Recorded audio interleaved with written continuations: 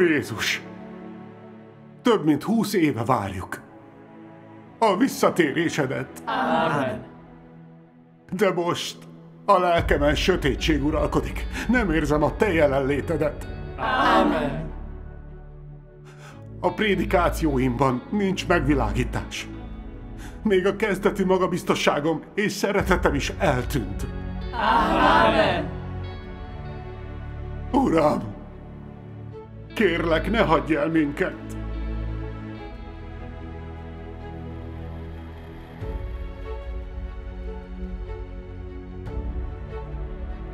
Úr Jézus, bár megbocsátottad bűneinket, még nem értük el a szentséget. Amen. Még mindig gyakran hazudunk és védkezünk. Nyomorúságosan szegények vagyunk.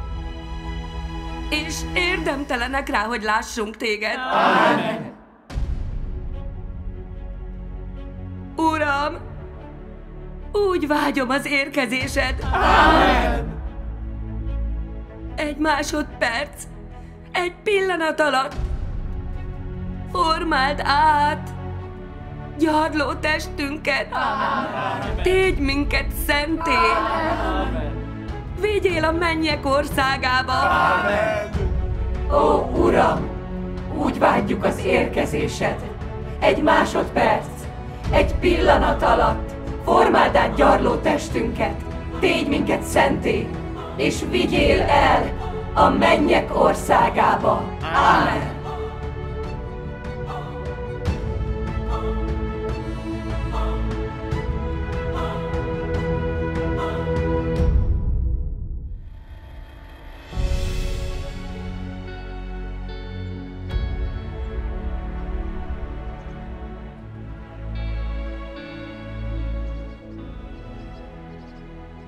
Testvérek, béke legyen veletek. És veled is. Hála az Úrnak. Lapozzuk fel Máté evangéliuma 24. fejezetének 7-14. versét. Az Úr Jézus ezt mondta visszatéréséről. Mert nemzet nemzet ellen, és ország ország ellen támad. Éhínségek és földrengések lesznek mindenfelé, de mindez a vajudás kinyainak kezdete. Akkor átadnak titeket kínvallatásra, megölnek benneteket, és gyűlöl titeket minden nép az én nevemért. Akkor sokan eltántorodnak, elárulják és meggyűlölik egymást. Sok hamis proféta támad, és sokakat félrevezetnek. Mivel pedig megsokasodik a gonoszság, sokakban meghidegül a szeretet. De aki mindvégig kitart, az üdvözül. Amen. Isten országának ezt az evangéliumát pedig hirdetik majd az egész világon, bizonságul minden népnek, és akkor jön el a vég. Amen. Hála az Úrnak. Hála az Úrnak. Testvérek, a katasztrófák egyre súlyosabbak. A világ egyre gonoszabb hely. Az emberek a világi irányzatok és a testi örömök megszállottjai. Nem gyakorolják az Úr szavát, nem törődnek Isten szándékával. Így van. A vallási közösség egyre inkább romokba hever. Egyre gyakoribb a mindenféle bűn. A sok katasztrófa és próbatétel leleplezi az embereket. Valóban így van. Igen. Évek óta keresem a Szentlélek munkáját. Ezzel a sok lelkésszel találkoztam. Nagyon csalódott vagyok. Mert sok lelkész és vén világi irányzatokat követ. A pénz után sóvárognak, hiúságra és státuszra törekednek, hatalomért küzdenek. Kölcsönösen bírálják és támadják egymást. Igen, Nagyon tényleg igaz. így van. Tényleg így van. Bizony, így, bizony, így van. A lelkészek és vének csak magamutogatásból kérkednek. Bibliai ismeretekkel, hogy követőket szerezzenek. És hogy elorozzák az úr juhait, miközben nem törődnek az ő életükkel. Maguknak és másoknak is ártanak. Pontosan. Ezek a súlyos vétkek meggyengítik a hívők hitét, és borulátóvá teszik őket. Sokan visszavonultak. Így van. Látjátok, mennyien Tényleg el? így van. Ez számomra azt mutatja, hogy az úr szava beteljesült. Ez az utolsó napok legsötétebb időszaka. Az Úr hamarosan elvisz minket a mennyek országába. Ámen. Az Úr üdvözlésének e kulcsfontosságú pillanatában többet kell olvasnunk a Szentírást. Beszélnünk kell az Úr szaváról, és gyakorolnunk kell azt. Ámen. Terjesztenünk kell az evangéliumot, Ámen. Ámen. hogy elnyerjük az Úr dicséretét. Így van. Pontosan. Mikor eljön az Úr, csak így léphetünk be a mennyek országába. Ámen. Hála az Úrnak. Hála az Úrnak. Szónővér, a világ egyre kaotikusabb, mintha a katasztrófa küszöbén állnánk. Nem tudom mi ez, de a szívem egyre távolodik az Úrtól. A lelkesedésem és szeretetem ellaposodott.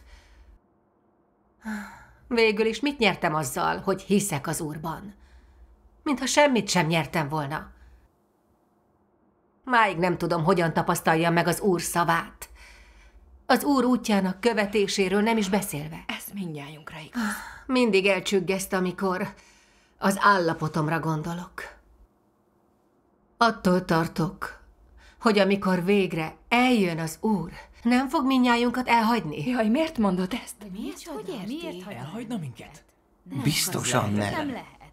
Hinni? Hogy nem? Őszintén Persze, hogy szólva, nem vagyok biztos abban, hogy az Úr elvisz minket a mennyek országába. Hogy Igen, ez- ez, ez biztos nem igaz. Elvisz minket? Biztosan. Igen, hinnünk kell benne, hogy az Úr hűséges. hagyna itt. Biztosan. Gyakran tűnődöm, hogy miután annyi éve hiszek az Úrban, miért csökken most az Úrba vetett hitem és szeretetem? Az Úr elvesztette a jelentőségét a szívemben. Hazudok, és testi örömök után sóvárgok. Azon töröm a fejem, hogyan kereshetnék még több pénzt. A világi dolgoknak élek. És nem tudom, hogyan gyakoroljam az Úr szavát. Az összejöveteleken csak doktrinákról beszélek, másokat szajkózva. Miközben minden nap vétkezem, majd megbánom a bűneimet. Így a bűnben élők viselkednek. Igen. Igen. Pontosan. Pontosan. Bár a bűneim megbocsátattak, nem szabadultam ki a bűn kötelékéből. És mégis, azt remélem, hogy beléphetek a mennyek országába. Mikor az Úr e szavait olvasom, nem lép be a mennyek országába mindenki, aki ezt mondta nekem, Uram, Uram, csak az, aki követi mennyei atyám akaratát. Szégyen költözik a szívembe. Azon tűnődöm, vajon az Úr tényleg megjelenik majd az olyanoknak, mint mi? Nagyon aggódom, hogy el fog minket hagyni az Úr. Én is ugyanebben az állapotban vagyok. Nem el fog minket hagyni azért. Az úr megígérte, hogy visszatér, és elvisz minket a mennyek országába. Hogy hagyhatna el minket? Képtelenség. Testvérek, ezek, amikről beszélünk, valódi problémák. Ha hiszünk, a bűneink megbocsátatnak, de annak ellenére, hogy az Úr kegyelmét élvezzük, még mindig hajlamosak vagyunk hagyni, hogy a bűn irányítson minket. Az Úr sok szavát nem gyakoroljuk. Igaz. A szentséget meg főleg nem értük el. Csak névleg imádjuk az Úr Jézust, de nem tartjuk magunkat az Úr útjához. Nem követjük a parancsolatait. Ha így hiszünk, nem felelünk meg az Úr követelményeinek. Ha Isten szavait nézzük mi szerint, legyetek azért szentek, mert én szent vagyok, akkor nem vagyunk érdemesek a mennyek országára. Igaza van. Pontosan. Így van. Így van. Valóban így van. Pontosan. De szabad-e? Pusztán azért hitünket veszteni az Úrban, mert folyamatosan védkezünk, és nem gyakoroljuk az ő szavát. Nem, biztos, Így hogy nem van. szabad Kell, hitünket hogy legyen hitünk. Úrban. Valójában ez a probléma már az apostolok korában is jelen volt az egyházban. Nézzük meg a rómaiakhoz írt levélben, hogy mit mondott Pál a tizedik fejezet 9 versében. Ki olvassa fel? Én szeretném. Remek. Ha tehát száddal Úrnak vallod Jézust, és szíveddel hiszed, hogy Isten feltámasztotta őt a halálból, akkor üdvözülsz. Mert szívvel hiszünk, hogy megigazuljunk, és szájjal teszünk vallást, hogy üdvözüljünk. Ámen. Ámen. 11. fejezet 6. vers. Ha pedig kegyelemből van, akkor nem cselekedetekből. Különben a kegyelem nem volna kegyelem. Ámen. Ámen. Ezért tehát Nem kell borulátónak lennünk a megrögzött bűnösségünk miatt, Igen. attól tartva, hogy az Úr majd megvet és elhagy minket. Amire szükségünk van, az az Úrba vetett hit. Ámen. Ő nem tekint ránk bűnösként, mert réges-régen már megbocsáttattak a bűneink. Ámen. Az Úrba vetett hitünk miatt mind igaznak számítunk, és belépünk majd a mennyek országába, amikor ő eljön. Ámen. Így van. Az úr szava alapján érdemtelenek vagyunk, de Pál szerint nem, és van remény arra, hogy megmenekülünk. Így, Így van. Testvérek, olvassuk tovább Pál szavait. Olvassuk együtt a Filippiekhez írott levél harmadik fejezetének 20. versét. Nekünk pedig a mennyben van polgárjogunk, ahonnan az Úr Jézus Krisztust is várjuk üdvözítőül, aki az ő dicsőséges testéhez hasonlóvá változtatja a mi gyarló testünket, azzal az erővel, amelyel maga alá vethet mindeneket. Ámen. Jöjjön Pál első levele a korintusziakhoz. 15. fejezet 51. vers. Íme, titkot mondok nektek. Nem fogunk ugyan mind meghalni, de mind el fogunk változni. Hirtelen, egy szempillantás alatt, az utolsó harsona szóra. Mert meg fog szólalni a harsona, és a halottak feltámadnak romolhatatlanságban, mi pedig elváltozunk. Ámen. Pál szavait halva, magabiztosabbak lehetünk, nem? Igen. Testvérek, mit jelent az, hogy egy szempillantás alatt elváltozunk? A húsvértestünk kinézete azonnal meg fog változni, amikor alászáll az Úr, és megjelenik nekünk. Fel fogunk emelkedni az égbe, hogy találkozzunk az Úrral. Akkor már nem fogunk többé a bűnkötelékében élni, mert az Úr mindenható. Ámen. Amikor az Úr visszatér, a kinézetünk megváltozik, és az Úr színe elé kerülünk. És ekkor teljesen szentek leszünk. Ámen. Ez Isten megváltásának és szeretetének hatása. Testvérek, ha nincs ilyen hitünk, hogy ragadtathatnánk el? Igen. Ti nem így gondoljátok? De igen. Hála az Úr. Hála az Úrnak. Pál ezt mondta, és meg kell őriznünk a hitünket. Úgy van, ahogy le van írva. Isten azt mondja, legyetek azért szentek, mert én szent vagyok.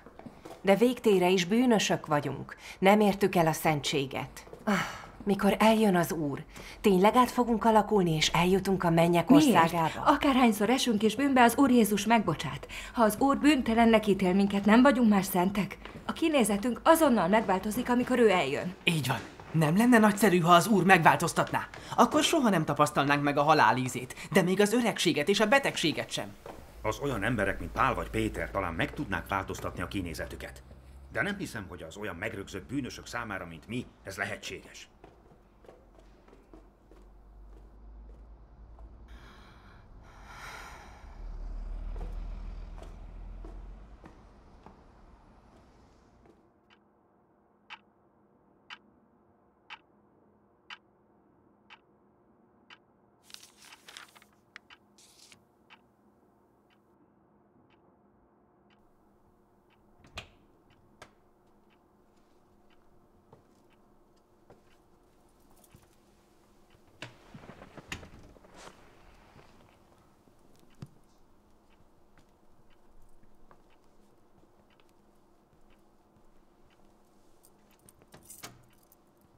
Csenkhau, Anya még nem alszik. Menj oda hozzá.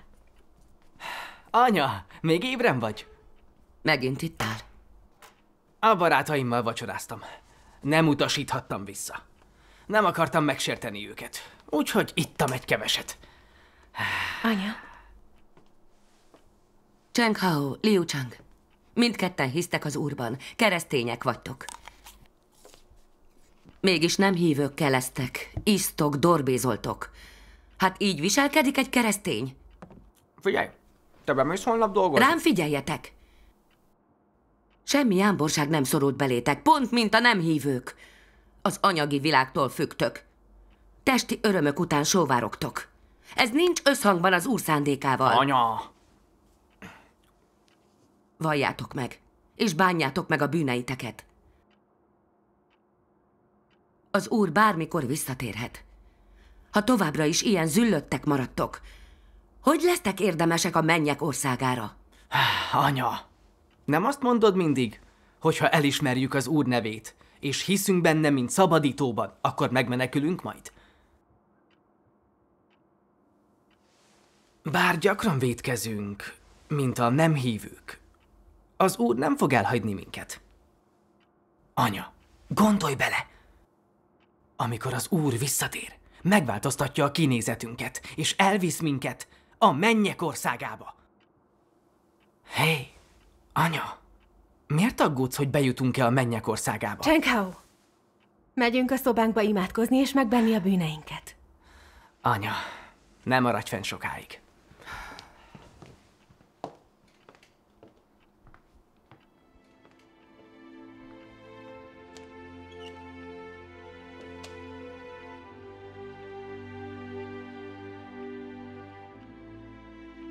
Itt le is zárhatjuk a megbeszélést a gyülekezeti munkát illetően. Mára végeztünk.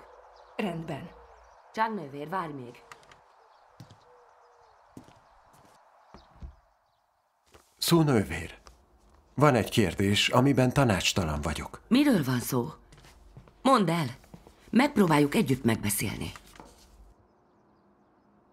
Hosszú évek óta. Pál szavai szerint gyűlünk össze és prédikálunk. Mert szívvel hiszünk, hogy megigazuljunk, és szájjal teszünk vallást, hogy üdvözüljünk. Aki egyszer megmenekül, örökre megmenekül. Ezért azt hisszük, hogy már megmenekültünk, és a hitünk miatt igaznak nevezhetjük Igen. magunkat. Bár még mindig gyakran védkezünk, és messze vagyunk a szentségtől, amikor eljön az Úr, azonnal megváltozik a kinézetünk, és belépünk a mennyek országába. Sokszor szólnak erről a prédikációik. Igen, így van. Pontosan. Az ilyen közlést hallgatva a hívők magabiztosabbak a mennyek országába való belépéssel kapcsolatban. Viszont nem gyakorolják rendesen az úr parancsolatait. Mintha a testi örömöknek élnének csak, Istent félő szív nélkül. Akár csak a nem hívők, akik megbánás nélkül élnek bűnben. Mégis így nyugtatják magukat. Semmi baj, mivel az Úr már megbocsátotta a bűneimet. Amikor ő eljön, azonnal szenté tesz majd, és beléphetek a mennyek országába. Hogy mondhatná bárki, hogy az ilyen hit megfelelhet az Úr szándékának? Ez kétségtelenül így van. A Bibliában Isten azt mondta, legyetek azért szentek, mert én szent vagyok. Csak a szent ember láthatja az Urat. Bizony. Így van. Számunkra, akik mindig védkezünk, Mégis várjuk, hogy az Úr elvigyen a mennyek országába. Mindig úgy érzem, ez lehetetlen. Bűnbánat nélkül védkezünk, mégis azt reméljük, hogy az Úr elvisz. Ez csak a mi egyoldalú vágyunk. Kíváncsi vagyok. Ti mit gondoltok erről? Lin testvérnek igaza van, én is így érzem. Ez elég egyszerű kérdés. Hé, hey, lintestvér! Hogy mondhatsz ilyet? Amikor az Úr Jézust az emberért hozott vétek áldozatként keresztre feszítették, ő megváltotta a bűneinket. Azért neveztek minket igaznak, mert hiszünk az Úrban, és senki sem ítélhet el a bűneinkért. Ahogy Pál mondta, kivádolná Isten választottait? Hiszen Isten az, aki megigazít. Ki ítélne kárhozatra? Ámen. Ha Isten már igaznak nevezett minket, Miért kéne azon aggódnunk, hogy a védkeink miatt nem léphetünk be a mennyek országába? Szúntestvérnek igaza van. Pál is azt mondta, hiszen kegyelemből van üdvösségetek hitáltal, és ez nem tőletek van, Isten ajándéka, nem cselekedetekért, hogy senki se dicsekedjék. A hitünk igazzá tesz, az Úr kegyelme pedig üdvösséget hoz. Ha egyszer megmenekülünk, örökre megmenekülünk. Úgyhogy... Ámen. Nem kell a védkeink miatt aggódnunk, vagy a szentség elérése miatt, vagy amiatt, hogy megfeleljünk az Úr szándékának, ez minden probléma. Csak Pál szavainak kell hinnünk, miszerint, ha eljön az Úr, egy szempillantás alatt megváltoztatja a kinézetünket, és elvisz a mennyek országába. Ha ebben nem vagyunk biztosak, hogyan lehetnénk az Úr hívői? Szun testvér, én ezzel nem értek egyet. A ti véleményetek szerint olyan, mintha Elég lenne hinni az Úrban, és ő meg fog bocsátani nekünk. Bármennyit vétkezünk. Hogy a bűneink ellenére beléphetünk a mennyek országába. Ez biztos így van. Gondoljatok a zsidókhoz írt levélre a Bibliában. Ha szándékosan vétkezünk, miután megismertük az igazságot, nincs többé bűneinkért való áldozat, hanem az ítéletnek valami félelmes várása, amikor tűzlángja fogja megemészteni az ellenszegülőket. Igen. Hogy magyarázzátok ezeket a szavakat? Hmm. Ráadásul az Úr Jézus azt jövendölte, hogy az utolsó napokban eljön, hogy elválassza a juhokat a kecskéktől, a jó szolgát a gonosztól. Ha az ember pusztán a hite miatt beléphetne a mennyek országába, hogy teljesülne be az Úr Jézus proféciája? Igaz. Ez egy nagyon jó kérdés. Ez jó Így kérdés. van. Tudjátok tisztázni ezeket a kérdéseket? Úgy érzem, hogy a mennyek országába való belépés nem lehet olyan egyszerű, mint gondoltuk. Bizony, Igen. van. Igen, valóban. Igen. Az Úr Szerintem Jézus azt mondta, Íme, eljövök hamar. Velem van az én jutalmam, és megfizetek mindenkinek a cselekedete szerint. Az Úr szava alapján, amikor ő visszatér, mindenkit a maga cselekedeteinek megfelelően fog megítélni. Az, hogy a hívők a mennyek országába vagy a pokolba jutnak, azon múlik, hogy gyakorolták-e az Úr szavát, és követték-e az ő útját. De a ti szemléletetekben nem számít, hogy követjük-e az Úr útját, vagy hogy védkezünk-e. Amikor az Úr eljön, minnyájunkat azonnal szenté tesz, és beléphetünk a mennyek országába. Ehhez kétség sem fér. Vagyis, függetlenül a cselekedeteinktől bejutunk a mennyek országába. Akkor nem kell gyakorolnunk az Úr szavát, és megtartanunk a parancsolatait. Ha így van, akkor amit az Úr Jézus mondott, hogy megfizetek mindenkinek a cselekedete szerint, az semmit nem jelent. Ezt gondoljátok? Igaz. Igaz.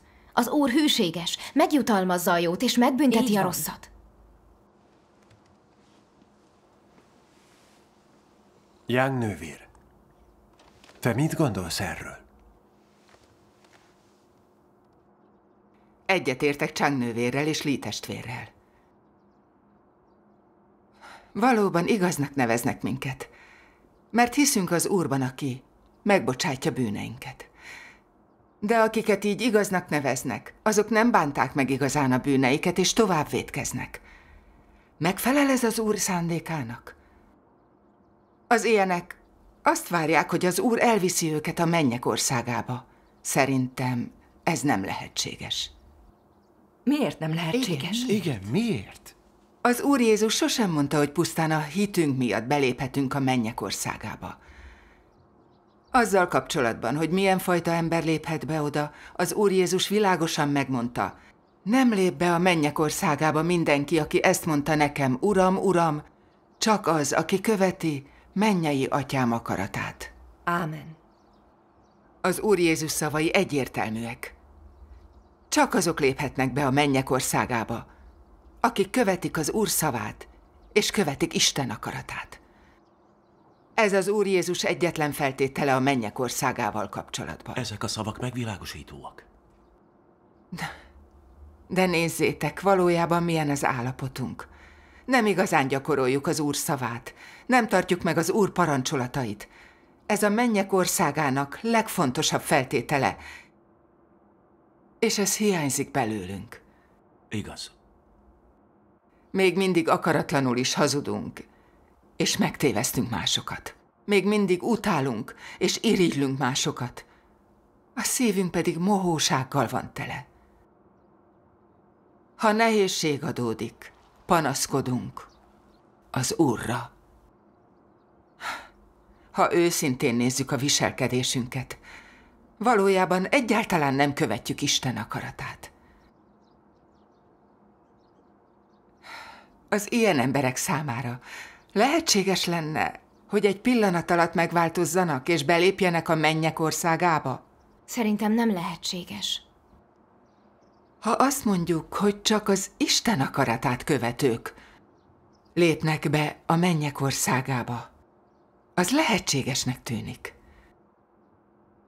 De ha mindig vétkezők, mint mi, beléphetnének a mennyek országába, az hogy teljesítené be az Úr Jézus szavát?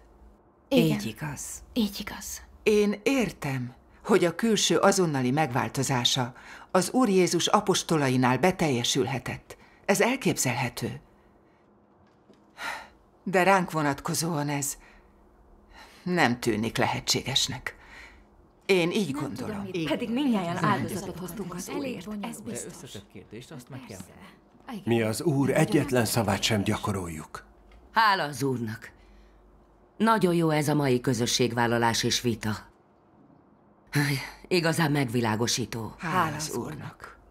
Pál szavát követtük, és abban hittünk, hogy kegyelemből elnyerhetjük az üdvösséget.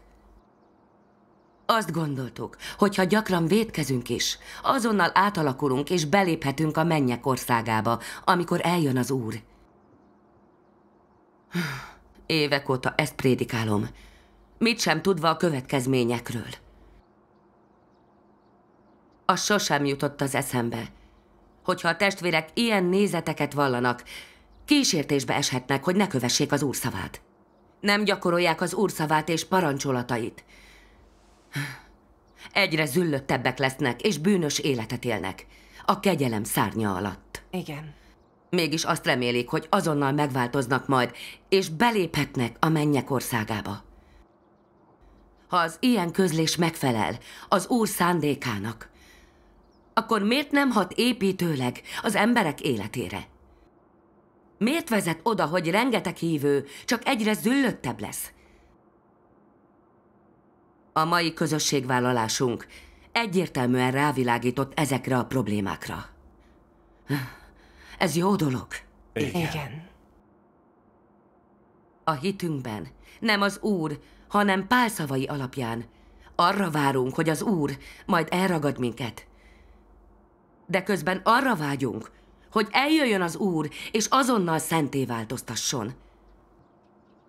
Lehet, hogy ez nincs összhangban az Úr szándékával. Bizony. De akkor hogyan gyakoroljuk az Úr szavát, hogy beléphessünk a mennyek országába? Ez kulcsfontosságú kérdés. Az igazságot kell keresnünk. Igen. Igen.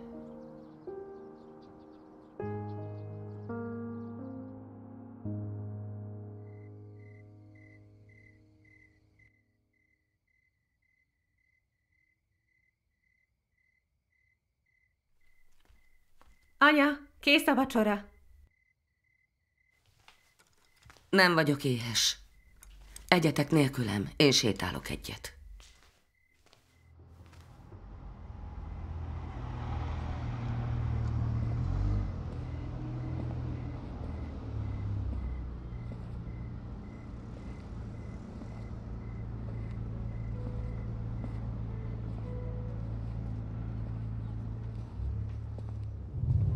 Mikor az Úr e szavait olvasom, nem lép be a mennyek országába mindenki, aki ezt mondta nekem, Uram, Uram, csak az, aki követi mennyei atyám akaratát. Szégyen költözik a szívembe.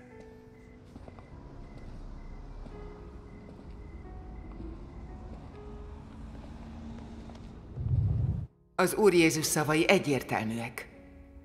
Csak azok léphetnek be a mennyek országába, akik követik az Úr szavát, és követik Isten akaratát. Ez az Úr Jézus egyetlen feltétele a mennyek országával kapcsolatban.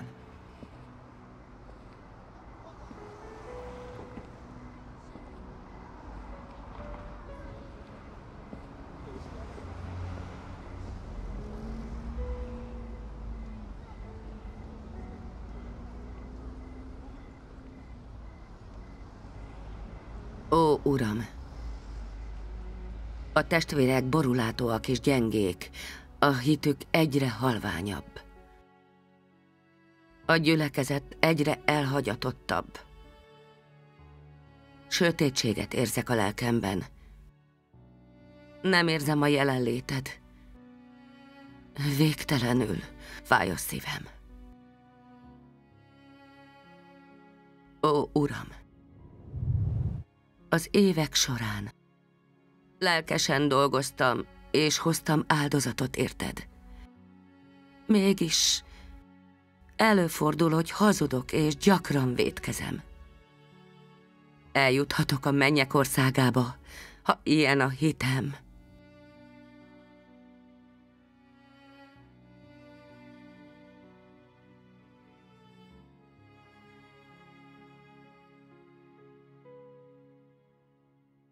Ó, Uram! Össze vagyok zavarodva. Kérlek, küldj sugallatot, és vezess engem.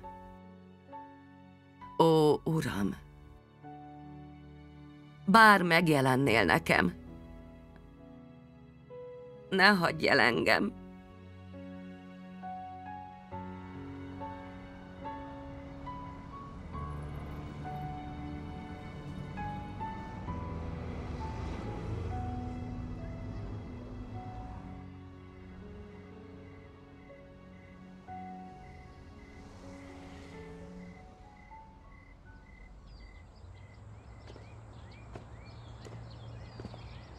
Csán nővér, gyere jövő héten is az összejövetelre. Rendben. Nem kell kikísérni. Nem tudom, hogy Csang nővér eljön-e jövő héten. Szerintem nem valószínű. Az elmúlt években azért dolgoztunk, hogy újjáélesszük a gyülekezetet. Mindenünket beleadtuk, és rengeteget szenvedtünk. Bármiféle eredmény nélkül. Igen. A gyülekezet a Szentlélek munkája nélkül még mindig olyan sivár. Igen. A testvérek egyre borulátóbbak. Egyre kisebb a gyülekezet. Mi lehet ennek az oka? Még a lelkészek sem tudnak nekünk utat mutatni. Ez nem mehet így tovább. Így van. El fog minket hagyni az Úr? Szerintem a Szentlélek munkáját kell keresnünk, hogy rátaláljunk, melyik egyházban munkálkodik a Szentlélek. Nem ragadhatunk meg itt az életünk végéig. Így van. Igazad van. Szerintem is körül kellene néznünk. Hm. Van egy probléma. Amin gondolkodom egy ideje. Rengeteg felekezet kiüresedett mostanában. A keleti villámlás viszont egyre növekszik. Ez nem egyszerű ügy. A kínai kommunista kormány évek óta üldözi a keleti villámlás házi gyülekezeteit. A keleti villámlás egyre több tagját fogják el. Még a lelkészek és vének is elítélik és bolykottálják. Nem csak, hogy nem győzték le a keleti villámlást, de az egyre gyorsabban növekszik. Ez igaz. Nagyjából tíz év alatt egész Kínában elterjedt. Már a tengeren túlra is eljutott. Igen, szerintem.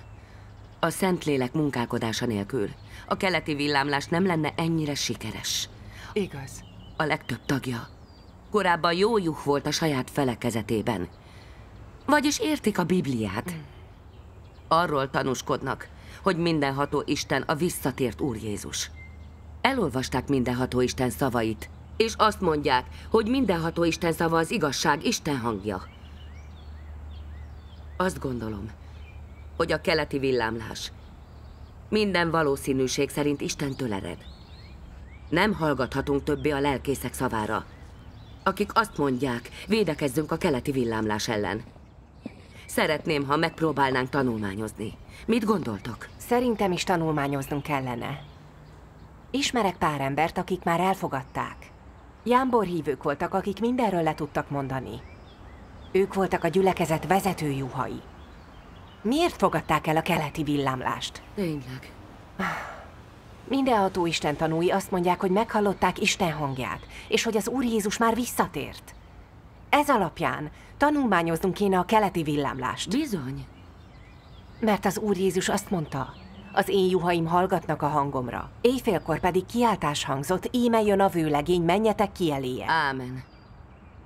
Ha a lelkészekre hallgatunk, és nem tanulmányozzuk a keleti villámlást, elszalaszthatjuk az esélyt az elragadtatásra. Már amennyiben a keleti villámlás az úr munkája. Igen. Lehet. Az alapján, amit mondasz, valószínű, hogy a keleti villámlás az igaz út. Igen. Akkor kezdjük tanulmányozni. Mm. Megbeszéltük, így teszünk. Elhívjuk a mindenható Isten egyházának tagjait. Jó. Rendben. Ismertem egy prédikátort. Hallottam, hogy elfogadta a keleti villámlást. Hívjuk meg, hogy tanúskodjon nekünk. Egyetértetek? Nagyszerű. Nagyszerű. Jól hangzik.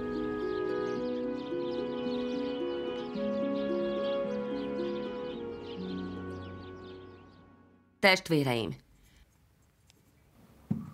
Sok-sok éve hiszünk, de még vannak kérdések, amiket nem értettünk meg. Mik azok? Bár az Úrért prédikálunk és dolgozunk, sőt, még szenvedünk is. Mégis képesek vagyunk hazudni és megtéveszteni másokat. Mindig önmagunk védelmében lépünk fel. Rengetegszer vagyunk önfejűek, kérkedőek és lekezelőek. A vétkezés és bűnbánat körforgásában élünk, és nem tudunk megszabadulni a húsvértes rabságából. Mindig is ebben az állapotban Nem gyakoroljuk az Úr szavát. Nem éltük meg az Úr szavának semmilyen valóságát. Van rá bármi esélyünk, hogy beléphessünk a mennyek országába? Tudja. Minden nap erről a kérdésről beszélünk, ezt vitatjuk. Tényleg nem tudjuk átlátni. Valóban. Egyesek azt mondják, nem számít, hogy védkezünk, vagy a test rabjai vagyunk. Az úr szemében bűn nélkül valók vagyunk. Ők pál szavát követik. Hirtelen egy szempillantás alatt. Az utolsó harsona szóra. Mert meg fog szólalni a harsona, és a halottak feltámadnak romolhatatlanságban, mi pedig elváltozunk. Ámen. Azt feltételezik, hogy az Úr, mikor eljön, megváltoztatja az alakunkat, és elvisz a mennyek országába. Így van. Mások nem fogadják el ezt az érvelést, és úgy gondolják, hogy aki a hite által elnyeri az üdvösséget, de folyamatosan vétkezik, nem léphet be a mennyek országába. Főleg az Úr Jézus e szavai alapján. Nem lép be a mennyek országába mindenki, aki ezt mondta nekem, Uram, Uram. Igen. Csak az, aki követi mennyei atyám akaratát. Ámen. Legyetek azért szentek, mert én szent vagyok. Ámen. Ez két különböző szemlélet, bár egyik oldal sem tudja világosan kifejezni, Igen. ahogyan mi sem tudjuk. Testvéreink, vállaljatok velünk közösséget. Vállaljatok velünk közösséget. Rendben. Szúnővér, nézzük meg, mi áll Pál második Timóteushoz írt levelében. A teljes írás Istentől ihletett. Ámen. Pál szavait, amelyek le vannak írva a Bibliában, Isten sugalta. Ezek Isten szavai. Ámen. Ámen.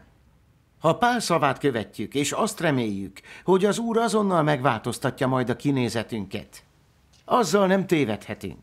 Semmi zavaros nincs ebben. Szun testvérnek igaza van.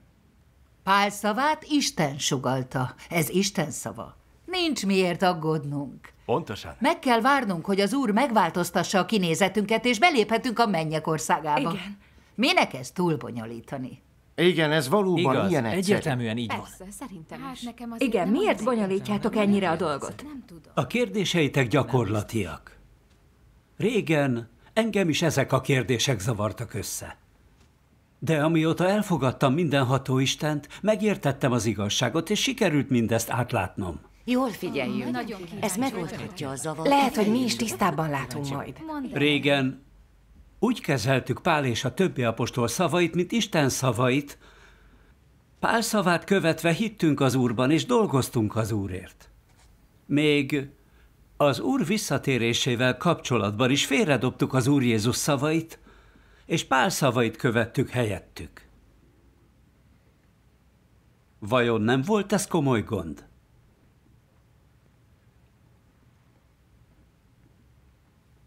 Vajon Isten vagy az ember szavára kéne inkább hallgatnunk? Aki az Isten Úrban hisz, annak Istenre kell hallgatnia. Persze, hogy Isten szavára.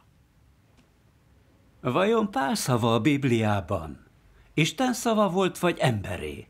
Egyértelműen Isten szava volt. Ember szava. A Biblia Isten szava. Szerintem is Isten szava. Ember szava. Igen, Nem, az Isten Isten szava. szava.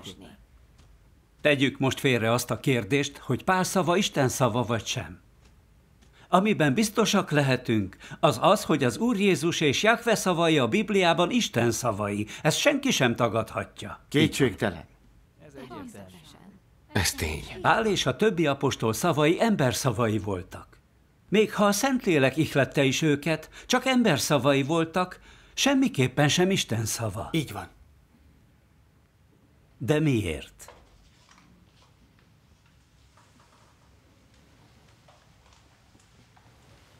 Mert se az Úr Jézus, se a Szentlélek nem tanúsította, hogy az apostolok szava Isten szava. Még az apostolok maguk sem állították soha, hogy amit leírtak, az Isten szava lenne. Ez igaz. Mm. Hát nem tény ez? De igen, az. Tényleg így van. Így már minden világos. Az apostolok szavai ember szavai voltak. Az ember szavai a Bibliában ember szavai, nem pedig Isten szavai. Ezért nem alapozhatjuk rájuk az értelmezésünket. Így van. Az ember sok szava a Szentlélek megvilágosodásából ered, de van olyan is, amelyen foltot ejtett az emberi akarat. Ezek nem az igazságot fejezik ki. Ha igazságként kezeljük az ember szavát, könnyen összezavarodhatunk, és ez nem vezet sehova. Hogy hogy nem vezet sehova? Miért jelent meg több ezer felekezet a vallási közösségben? Igen. Miért? Azért, mert az ember úgy értelmezte az ember szavát a Bibliában, mintha Isten szava lenne, és ez ilyen zűrzavarhoz vezetett. Ez egy Igen, nagyon nem egyetetek gondolsz. vele. A mennyek országát illetően csak az Úr Jézus szavára szabadna hallgatnunk. Igen. Végtére is az Úr Jézus a megtestesült Krisztus. Csak az Úr Jézus a szabadító. Az Úr Jézus szava igazság. Csak az Úr Jézus szavának van hatalma. Ámen. Pál csak egy ember volt, nem Krisztus. Nem fejezhette ki az igazságot. Ezért elkerülhetetlen volt, hogy az ember akarata belekeveredjen a szavába. Még Pál sem merte kijelenteni, hogy a szavait Isten sugalja, azt meg végképp nem, hogy a levelei Isten szavai lennének. Így van. Nem lenne abszurd úgy tekinteni Pál szavára, mint Isten szavára? De igen. Így van. Akkor hát erről van szó. Ez észszerűen hangzik. Tehát, függetlenül attól, hogy Isten akaratát követjük-e, vagy érdemesek vagyunk-e a mennyek országára, az igazságban való törekvésben, csak az Úr Jézus szavát kellene követnünk, ha valóban meg szeretnénk találni a helyes választ. Helyesen hangzik, nem? Igen, igen. Így van, így van. Így Van van, világosság ebben a közlésben, nem szabadna párra hallgatnunk. Olvassuk el mindenható Isten néhány szavát, hogy jobban értsük. Remek. Ezek mindenható Isten szavai. Igen. Mindenható Isten azt mondja. Ma az emberek azt hiszik, hogy a Biblia Isten, és hogy Isten a Biblia. Azt is hiszik, hogy csak a Biblia minden szava volt az egyetlen ige, amit Isten mondott, és hogy azt mind Isten mondta. Azok, akik hisznek Istenben, még azt is gondolják, hogy bár az Ó és Új Szövetség mind a 66 könyvét emberek írták, mindegyiket Isten ihletése adta, és a Szentlélek kijelentéseinek feljegyzései. Ez az ember eltorzult felfogása, és nem felel meg teljesen a tényeknek.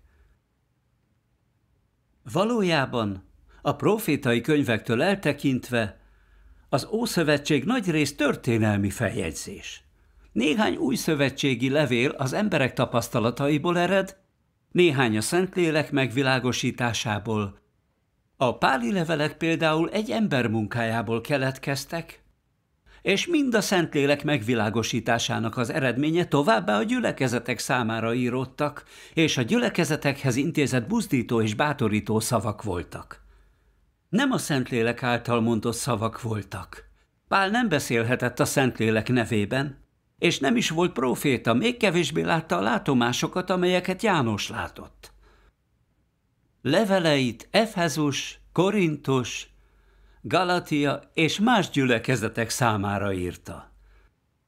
Tehát a páli levelek az új szövetségben olyan levelek, amelyeket Pál a gyülekezetek számára írt, és nem a Szentlélektől kapott ihletések vagy a Szentlélek közvetlen kijelentései. Minden, amit mondott, ami építő és pozitív volt az emberek számára, helyes volt, de nem a Szentlélek kijelentéseit képviselte, és nem képviselhette Istent. Hatalmas tévedés és istenkáromlás, ha az emberek egy ember tapasztalatainak feljegyzéseit és egy ember leveleit úgy kezelik, mint a Szentlélek szavait. Az ő identitása csupán egy munkálkodó apostol identitása volt. Ő pedig csupán egy apostol volt, akit Isten küldött. Nem volt proféta, sem jövendőmondó. Számára a saját munkája és a testvérek élete bírt a legnagyobb jelentőséggel. Tehát ő nem beszélhetett a Szentlélek nevében.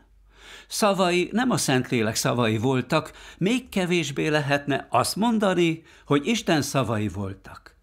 Hiszen Pál nem volt más, mint teremtett lény, és bizonyosan nem Isten megtestesülése volt. Ámen. Ámen.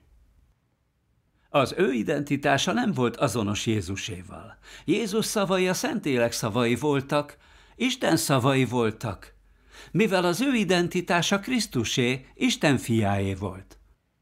Hogyan lehetne Pál egyenlő vele? Ha az emberek például Pál szavait és leveleit a Szentlélek kijelentéseinek tekintik, és Istenként imádják őket, akkor nem érzékelik eléggé a különbségeket. Keményebben fogalmazva, vajon ez nem Isten káromlás? Hogyan beszélhetne egy ember Isten nevében? És hogyan hajolhatnának meg az emberek az ő leveleinek és szavainak feljegyzései előtt, mintha azok egy szent könyv vagy egy mennyei könyv lennének? Vajon Isten szavait egy ember könnyedén kiejthetné? Hogyan beszélhetne egy ember Isten nevében? Igaz. Isten szavát nem lehet ember szavaként érteni és még kevésbé lehet az ember szavát Isten szavaként érteni. Egy Isten által használt ember nem a megtestesült Isten, és a megtestesült Isten nem egy Isten által használt ember. Ebben lényeges különbség van. A megtestesült Isten szavai egy új kort nyitnak meg, az egész emberiséget irányítják, titkokat tárnak fel, és megmutatják az embernek, hogy milyen irányt kell követnie az újkorban. Az ember által elért megvilágosodás csak egyszerű útmutatás a gyakorláshoz vagy a tudáshoz. Nem képes az egész emberiséget egy újkorba vezetni, vagy magának Istennek a titkait feltárni. Végül is Isten Isten, és az ember ember. Isten Isten lényegével, az ember az ember lényegével bír. Ha az ember az Isten által mondott szavakat a Szentlélek általi egyszerű megvilágosításnak tekinti, és az apostolok és a proféták szavait Isten által mondott szavaknak veszi, az az ember hibája lenne. Bármi is történjen, soha nem szabad összekeverned a jót és a rosszat, sem a magasat nem szabad alacsonynak feltüntetned, sem a mélyet nem szabad összetévesztened a sekélyessel, bármi is történjen, soha nem szabad szándékosan megcáfolnod azt, amit igazságnak ismersz. Nagyon jó. Teljesen félre. Mindenható Isten szava nagyon világos. Igen. Pál egyértelműen nem volt Krisztus. Hogy lehetne akkor az ő szava Isten szava? Így van. Az egyszerűen lehetetlen. Bizony. Még ha Pál szavát meg is világosította a Szentlélek, akkor is ember szava volt, és egyáltalán nem Isten szava. Hosszú évek óta hiszünk, de nem tudtuk, melyik az ember és melyik Isten szava. Micsoda szégyen. Igen. Tényleg az. Mindenható Isten átfogóan felfedte előttünk, hogy mi Isten szava, és mi az ember szava. Eddig sosem láttuk ezt világosan. Így van. A lelkészek azt mondják, hogy a Bibliát Isten sugalta. Ezért az Isten szava. Ezért mi is úgy kezeltük az apostolok szavát, mint Isten szavát. Így igaz.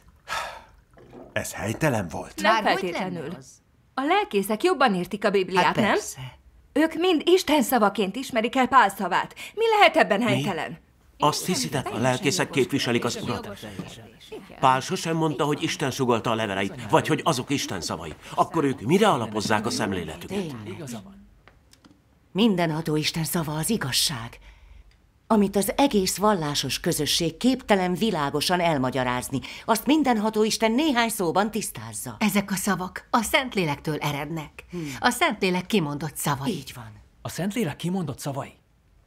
Miért nem ismerem fel őket? Csak figyelj Az apostolok korában. Úgy örülök, hogy végre Sok valaki érthetően. Az apostolok korában. Teljesen Figyeljetek! az egész. Még az apostolok korában élők sem tekintettek volna Pál leveleire Isten szavaként. Ez igaz. Úgy kezeltük Pál szavát, mint Isten szavát, anélkül, hogy figyelembe vettük volna a tényeket. Hogy lehettünk ilyen balgák? Valóban balgák voltunk. Így van. Az ilyen közösségvállalás Ebben valóban a egy... közlésben világosság lakozik. Érdemes tanulmányozni. Testvérek! Bizonyára sok hívő van, aki pálszavát követi, miközben az Úr megjelenését várja. Hirtelen, egy szempillantás alatt az utolsó harsona szóra. Mert meg fog szólalni a harsona, és a halottak feltámadnak romolhatatlanságban, mi pedig elváltozunk. Ez egyszerűen abszurd és nevetséges. Ezt meg Hogy hogy, mondja? érti? Hogy lenne abszurd és nevetséges? Hogy mondhat ilyet? Így van. Hogy lehetne Még hogy az? nevetség? Nem Az ember szava nem Isten képviseli, és az ember szaván foltot ejt az emberi akarat. Bár néha az ember szava is érinti Isten szavát, de ettől még nem Isten szava. Mondott az Úr Jézus bármi ahhoz hasonlót, mint Pálek kijelentése? Tettek ilyesmi kijelentéseket a proféták? Tanúsította a Szentlélek, hogy Pál levelei Isten szavai volnának? Kinyilatkoztatott olyat, hogy az embernek Pál szavára kell hallgatnia az Úr eljövetele kapcsán? Nem történt. Ilyen Nem, nem történt ilyen. Nem bizony. Semmi ilyesmi. Igaz. Valóban nem. Nincs se erre utaló tény, se bizonyságtétel. Tehát Pál szava csak támpontként szolgálhat, nem alapvetésként. Igaz. Igaz. Ez igaz. Ennek van értelme. Ez gyakorlati értelmezés. Ha a mennyek országába való belépés kapcsán a szemléletünket Pál szavára alapozzuk az Úr szava helyett, ha a képzeletünk irányít, és arra várunk, hogy az Úr megváltoztat minket, akkor könnyen hibázhatunk, és azt kockáztatjuk, hogy elhagy minket az Úr. Hogy hagyhatna el minket? Igaz ez? Egyáltalán nem. Valójában Az Úr nem az, hogy mit tesz az Úr Jézus, amikor visszatér, és hogy hogyan fogja szenté változtatni az embert, mind meg van jövendőlve a Bibliában. Ezt mind megjövendölte a Biblia. Péter első levele, 4.17. Találtad? Mert itt van az idő, amikor elkezdődik az ítélet Isten háza népén. János 12.47.48 Ha valaki hallja az én beszédeimet, de nem tartja meg azokat, én nem ítélem el azt, mert nem azért jöttem, hogy elítéljem a világot, hanem azért, hogy megmentsem. Aki elvet engem, és nem fogadja el az én beszédeimet, annak van ítélőbírája. Az az ige, amelyet szóltam, az ítéli előtt az utolsó napon. János 16-12-13-ban ez áll. Még sok mindent kellene mondanom nektek, de most nem tudjátok elviselni. Amikor azonban eljön ő, az igazság lelke, elvezet titeket a teljes igazságra. Mert nem önmagától szól, hanem azokat mondja, amiket hall. És az eljövendő dolgokat is kijelenti nektek. Ámen. János 17-15-19-ben pedig ez áll. Nem azt kérem, hogy vedd ki őket a világból, hanem hogy őrizd meg őket a gonosztól. Szenteld meg őket az igazsággal. Ámen. A te igéd igazság. Én ő értük oda szentelem magamat, hogy ők is megszentelődjenek az igazsággal. Ámen. Vagyis az Úr azért tér vissza az utolsó napokban, hogy kifejezze az igazságot, és elvégezze az ítélő munkáját Isten házán kezdve, és hogy vezesse az embert, hogy az belépjen az igazságba. Csak ha elszenvedjük Isten szavának ítéletét, akkor érthetjük meg az igazságot, és válhatunk érdemessé, hogy belépjünk Isten királyságába. Ámen. Ez megvilágosító. Tehát Igen. pár szavai mi szerint? Hirtelen egy szempillantás alatt az utolsó harsona szóra, mert meg fog szólalni a harsona, és a halottak feltámadnak romolhatatlanságban, mi pedig elváltozunk, pontatlanok, és eléggé félre tudják vezetni az embert. Igen, egyetértek, nem pontosan. Igen. Pálszava tényleg pontatlan. Valóban félrevezetett minket. Teljes mértékben. Sok hívő vár így arra, hogy az Úr megváltoztassa a kinézetét, és elvigye a mennyek országába. Nem gyakorolják az Úr szavát, és nem tudják, hogyan kövessék Isten akaratát. A saját lelkesedésüket követve dolgoznak az Úrért, miközben beszorultak a védkezés és bűnbánat körforgásába. Anélkül, hogy bármikor is valóban megbánnák bűneiket, vagy kiszabadulnának a bűnös természetük békjóiból. Ezek a hívők Pál szavát követve várnak az Úr megjelenésére. Gyakorlati ez? Hát így cselekedne az Úr? Az alapján, amit most hallottunk, szerintem az úr nem cselekedne így. Szerintetek? Lehet bármilyen haszna Pál proféciájának az életbe való belépésünkre nézve? Semmi haszna sincs. Egyáltalán semmi. Egyáltalán Sem. Az Úr érkezését illetően Pál szavára hallgatunk. Vajon beteljesül-e a profécia? Éjfélkor pedig kiáltás hangzott, íme jön a vőlegény, menjetek ki eléje. Az én juhaim hallgatnak a hangomra, és én ismerem őket, ők pedig követnek engem. Hogy teljesülne be ez a profécia? Hogyan? Ki tanulmányozná aktívan az igaz utat? Ki keresné Isten nyomdokait és hallaná meg hangját? Szerintetek nem így van? De, igen, így van. Pálszavai nagyon félrevezetőek. Pálszavai mindnyájunkat megtévesztettek. Abszolút. Nagyon zavaros a hitünk. Igen. Abban, ahogyan megtapasztaljuk mindenható Isten munkáját, mind látunk egy tényt. Isten létrehozta a győztesek csoportját a katasztrófa előtt. Valóban? Győztesekét, A katasztrófa pedig már a küszöbön áll. Isten megjelenése és utolsó napok beli munkája, illetve a katasztrófa között nagyjából 30 év van. 30 Bár ez nem túl hosszú idő, semmiképp sem azonnali, mint ahogy Pál mondta, hogy az ember egy szempillantás alatt szenté alakul, nem gondoljátok? Pál homályos szavai természetfeletti érzetet keltenek. Tényleg. Igen, tényleg homályos. Pál nem említi az Úr Jézus proféciáit Isten hangjának meghallásáról és a vacsorához való Ez elragadtatásról. igaz. Az Úr Jézus proféciái különösen gyakorlatiak, és megfelelnek a tényeknek. Amikor valóra válnak, megértjük őket. Igen, Ezzel valóban. megértjük. Amikor megjelenik mindenható Isten és elkezd munkálkodni, sokan meghallják Isten hangját, és mindenható Isten felé fordulnak. Ahogyan megtapasztalják Isten ítéletét, az beteljesíti a jelenések proféciáit. Boldogok, akik hivatalosak a bárány mennyegzőjének vacsorájára. Ámen. Igen, a Be kell proféciáknak be kell teljesülni. Így van. Ő tényleg csak, hiszen ezek a proféciák. De Pál úgynevezett proféciája sosem teljesült be. Igaz. Ez igaz. Ráadásul Pál nem volt proféta. Az úgynevezett proféciája valószínűleg emberi gondolatokból fakad. Igen. Az Úr Jézus proféciái beteljesültek, míg Pálé nem teljesült be. A különbség nagyon nagy. Mint az éjszaka és a nappal között. Így van. Igen. Ez a különbség az ember szava és Isten szava között. Ennek a közösségvállalásnak köszönhetően már érthetőbbnek tűnik minden. Tehát a mennyek országába való belépésünket nem alapozhatjuk Pál szavára. Igaz. Ha a hívők Pál szava alapján arra várnak, hogy az Úr megváltoztassa a kinézetüket és elvigye őket, attól tartok, balga szüzek lesznek, és az Úr el fogja hagyni őket. Úgy van, Ezt nem, nem hagyhatjuk, szabad. az borzasztó. Az ilyen közösségvállaláskor érthetjük meg, hogy Pál szava milyen pontatlan. Valóban pontatlan. A vallási világ nem látja át ezt a kérdést. Az úr utolsó napok beli munkája már tény. Pál szavát viszont még csak nem is értjük. Amikor Isten egy proféciája valóra válik, legtöbbször láthatjuk azt. Úgy tűnik Pál szavát nem Isten sugalta. Nem hihetünk többé Pál szavában. Így van. Bizony, Nem hihetünk sosem benne. hihetünk Egyszerűen. Különbséget nem. kell tennünk. szavában Nem bizony, Pál különbséget kell tennünk. Így van, Hihetetlen, hogy. Ezt mindnyájan látjuk. Amikor a Biblia proféciái valóra válnak, az Úr legtöbb hívője képes ezt látni. De azt semmiképp sem láthatjuk, hogy hogyan válnak valóra Pál szavai. Bizony. Mi itt a probléma? Elég annyit mondani, hogy Pál szavát semmiképpen sem Isten sugalta, és nem szabad rá Isten szavaként tekinteni. Ámen. Mindenki láthatja, hogy az Úr Jézus minden kijelentése egyértelműen valóra válik. Hát nem tény ez? Így van. De, Ez tény. az, Így van. Igen, ez tény. Egyértelmű. Így van. Pontosan.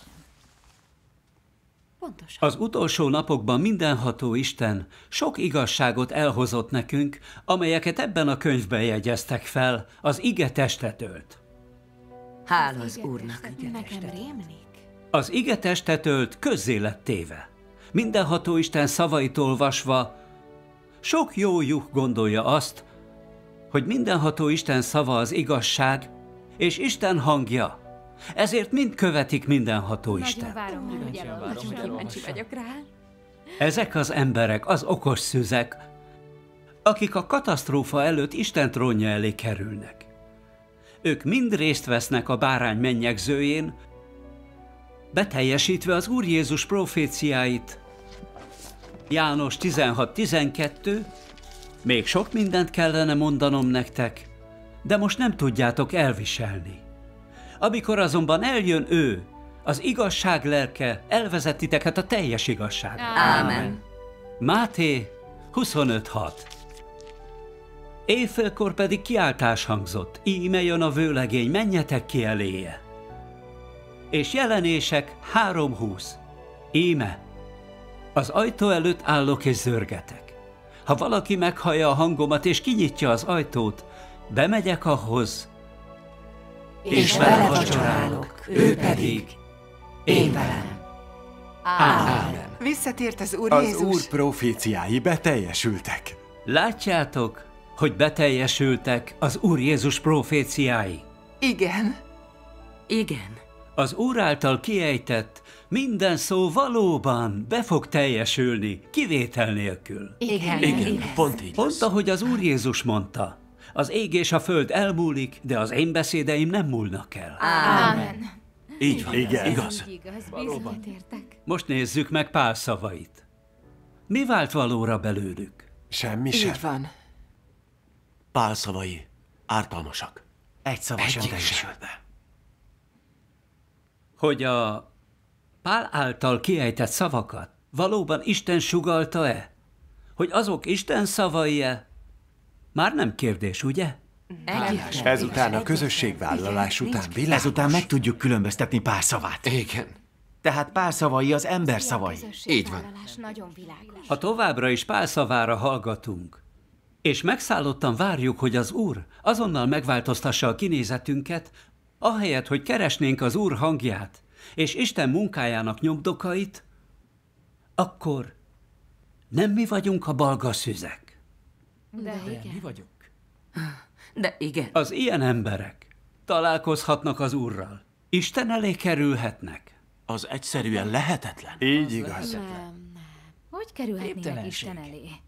Csend testvér, csáng testvér. A közösségvállalásotok nagyszerű. A lelkem egyből megvilágosodott. Istennek hála. Tehát Pál szava egyértelműen nem Isten szava. Ha Pál szavára hallgatunk, és arra várunk, hogy majd eljön az Úr egy felhőn és megváltoztat, akkor semmi reményünk nem lesz, hogy belépjünk a mennyek országába. Így van. Akkor sosem találkozunk az Úrral. Akkor hiába követtük az urat ennyi éven át. Így akkor Igen. semmi remény. Semmi. Egyetértek. Ahogy visszagondolok arra, hogyan vártuk, hogy az Úr elvigyen a mennyek országába. Egyáltalán nem kerestük az igazságot az Úr szavában. Igen. Csak pál szava alapján hittünk az Úrban, és vártuk az Úr visszatérését. Ezért, amikor az Úr eljön, hogy kifejezze az igazságot, a lelkészeket követve, még bíráljuk, és el is ítéljük mindenható Isten utolsó napok beli munkáját. Végül sötétségbe zuhanunk, és csak büntetésre számíthatunk, ha eljön a katasztrófa.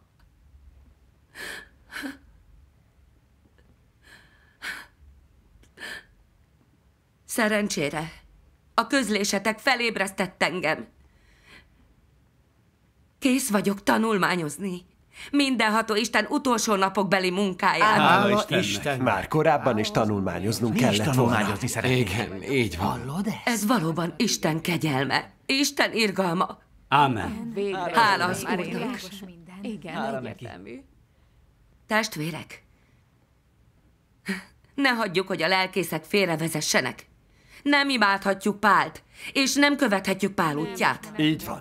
Nem szabad tovább Az követnünk Pál elszomorítja útját. Istent, Nem szabad, hogy félrevezessen. és beteljesíti a Biblia szavait. Népem odavész, mert tudás nélkül való. A bolondok meghalnak esztelenségük miatt. Ámen. Bizony, Nem így van. Hála A az Úrnak. közösségvállalásnak Hála az köszönhetően már Nem értjük. fogunk bedőlni. Enélkül még mindig zavaros lenne a hitünk. Mi történik? Mihez hallod? Szirénát? Hallok.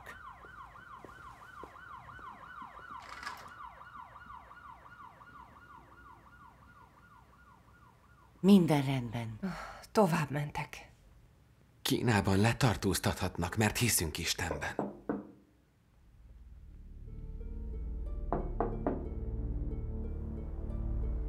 Gyorsan, pakoljatok el. Maradjatok csendben. Gyorsan, gyorsan. Csang testvér, Csang testvér, menjetek be a szobába.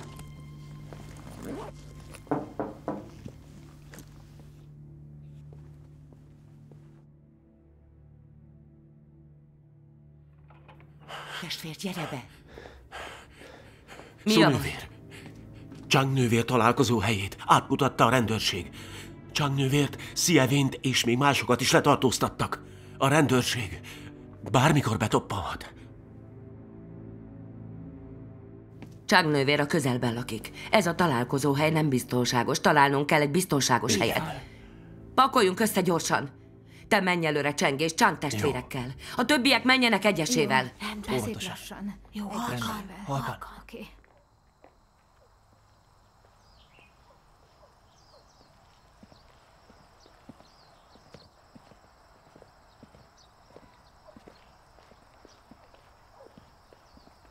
Szúnővér, a kormány egyre szigorúbban üldözi a házi gyülekezeteket. A keleti villámlást különösen keményen üldözik. Nagyon feszült a helyzet. Talán jobb lenne, ha ma nem tartanánk összejövetelt. Egyelőre várjunk a keleti villámlás tanulmányozásával. Ez nem várhat. Amíg a KKP meg nem bukik, nem kerülhetjük el az üldöztetést. Nem hagyhatjuk, hogy a párt megakadályozzon minket az igaz út keresésében. Így van. A mai közösségvállalás után úgy érzem, a keleti villámlás összhangban van a Biblia proféciáival. Könnyen lehet, hogy a keleti villámlás az Úr munkája. Ki kell derítenünk, hogy mindenható Isten a visszatért Úr Jézus-e. Ehhez kapcsolódik, hogy a hitünk eljuttathat-e a mennyek országába, a veszély ellenére is. Tanulmányoznunk kell. Jól mondod. Talán be lehet lépni a mennyek országába veszély nélkül.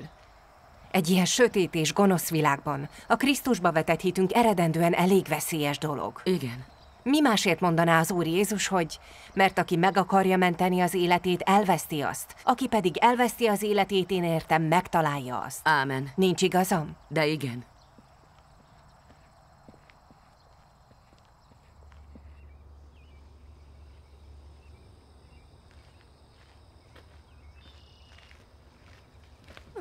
Korán ide értetek. Nagyon hangulatos. Tényleg. Olyan jó volt az út is, amíg ide jöttünk. Bár azért így Gyere, is meleg van. oda. Egy kis erdei séta mindig jó. Jó. szép ez az erdő. Leülhetek Persze, van itt még hely. Jó, köszönöm. Feltéve, hogy jó az idő. Jól tetted. Milyen szép az a madár. ide, gyere csak. Cseng testvér, Csang testvér. A domb tövében őrszemeink vannak. Itt nagyobb biztonságban gyülekezhetünk. Akár el is kezdhetjük. Akkor kezdjük. Testvérek, ha bármi kérdésetek lenne, bátran tegyétek fel. Folytassuk a beszélgetést. Cseng testvér! Csang testvér! Tanúsítottátok, hogy az Úr Jézus visszatért, hogy elvégezze ítélő munkáját. Én miért nem láttam ezt? Igen. Mi miért nem láttuk? Én még mindig azt hiszem, hogy az Úr egy felhőn fog visszatérni. Hogy amikor az Úr visszatér, mindenkit azonnal megváltoztat, aki hisz benne. És felemeli őket, hogy találkozzanak az Úrral. Ámen. Ámen. Ahogy Pál mondta. Nekünk pedig a mennyben van polgárjogunk, ahonnan az Úr Jézus Krisztust is várjuk üdvözítőül, aki az ő dicsőséges testéhez hasonlóvá változtatja a mi gyarló testünket azzal az erővel, amelyel maga alá vethet mindeneket. Ámen. Ámen. Azt mondjátok, hogy az Úr testé lesz, és az ember fiaként jelenik meg. Hogy elvégezze az utolsó napokbeli ítélő munkáját. Szerintem ez lehetetlen. Mivel Isten mindenható, egyetlen szava megteremtette a földet, és feltámasztotta a halottakat. Isten képes egyetlen szóval szenté változtatni minket. Miért kell Istennek testé lennie, hogy kifejezze az igazságot, és elvégezze az embert megítélő munkáját? Nem értem, hogy lehet ez. Kérlek, beszéljetek erről. Tudnátok tisztázni ezt a kérdést? Ez engem Ez is engem is érdekel. érdekelne. Kíváncsi vagyok rá. Pontosan. Vajon mi lehet a válasz? Nem gondolkodtam még ezen. Én Kíváncsi vagyok, hogy mit mondanak. De erről. nem jutott eszembe. Isten munkája mindig felfoghatatlan számunkra. Isten proféciáit senki sem tudja világosan megmagyarázni. Az ember csak akkor értheti meg a proféciákat, amikor beteljesülnek. Mit is jelent ez? Azt, hogy senki sem képes felfogni Isten mindenhatóságát. Amikor az Úr Jézus a kegyelem korában munkálkodott, senki sem fogta fel. Amikor mindenható Isten a munkáját végzi a királyság korában, arról sem tudhat senki előre. Tehát az emberiség számára felfoghatatlan az, hogy Isten testé lesz, hogy kifejezze az igazságot. De amikor Isten elvégzi a munkáját, bekövetkezik a katasztrófa. És akkor az emberek tudni fogják, hogy Isten szava valóra vált. De akkor már késő lesz. Csak jajgatni fognak, és a fogukat csikorgatják. Nem szabad ma megvárnunk, hogy lesújtsanak a katasztrófák ahhoz, hogy hinni Nem szabad kezdjünk. elszalasztanunk az Tényleg? esélyünket. Ezt tanulmányoznunk kell. Az, hogy Isten miként végzi el a munkáját, hogy megtisztítsa az embereket, hogy hogyan hozza létre a győztesek csoportját, az ő első zsengéjét, világosabbá válik, ha elolvassuk mindenható Isten szavait. Csodálatos. Figyelj, Igen, Szeretnénk igen, még többet halljuk. hallani mindenható Isten szavaiból. Mindenható Isten azt mondja. Képesnek kell lennetek meglátni Isten szándékait, és látnotok kell, hogy Isten munkája nem olyan egyszerű, mint az ég, a föld és minden más megteremtése. Ugyanis a mai munka azoknak az átformálása, akik meglettek rontva és teljesen eltompultak, azoknak a teremtett lényeknek a megtisztítása, akiket a sátán megmunkált. Ez nem Ádám vagy Éva teremtése, még kevésbé a világosság vagy a növények és állatok teremtése. Isten tisztává teszi azokat a dolgokat, amelyeket a sátán megrontott, majd újra megszerzi őket.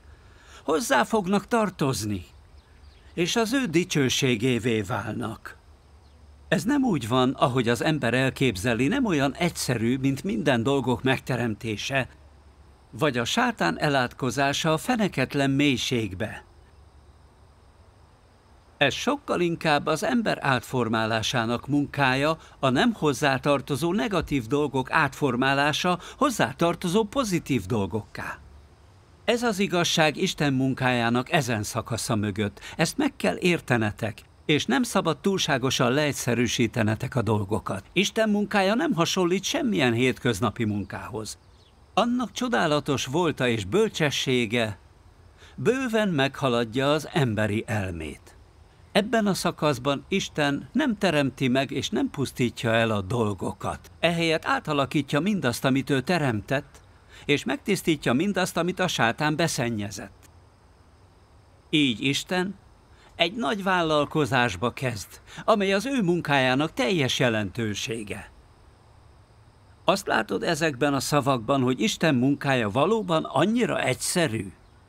Nem, nem egyszerű. Bizony. Isten munkája egyáltalán nem egyszerű. Az ember testét megrontotta, mélységesen megvakította, és komoly kárt okozott benne a sátán. A legalapvetőbb oka annak, hogy Isten személyesen munkálkodik a testben, az, hogy az ő üdvösségének tárgya az ember, aki a testből való, és a sátán szintén az ember testét felhasználva zavarja meg Isten munkáját. A sátánnal vívott csata tulajdonképpen az ember meghódításának munkája, ugyanakkor pedig Isten üdvösségének tárgya is az ember. Így módon a megtestesült Isten munkája létfontosságú. Ámen. Igen. A sátán De jó. megrontotta az ember testét, és az ember a sátán megtestesítőjévé, az Isten általi legyőzetés tárgyává vált. Így módon a sátánnal vívott csatának és az emberiség megmentésének munkája a Földön történik, és Istennek emberré kell válnia ahhoz, hogy megvívja a csatáját a sátánnal. Ez a leggyakorlatiasabb munka. Ámen. Ámen. Így Most már teljesen Ez fantasztikus. Dicsőség Istennek. Most már mindent értem. Cseng testvér, Hm?